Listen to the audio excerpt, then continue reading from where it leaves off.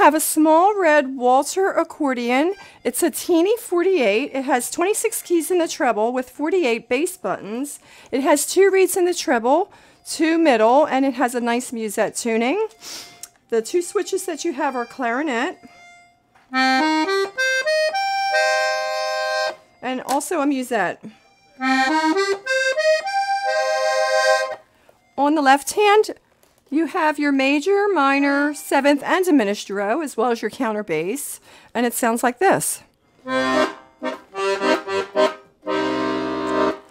This is a very cute and compact accordion. It has a nice, sweet sound. And I'll play something so you can hear what it sounds like.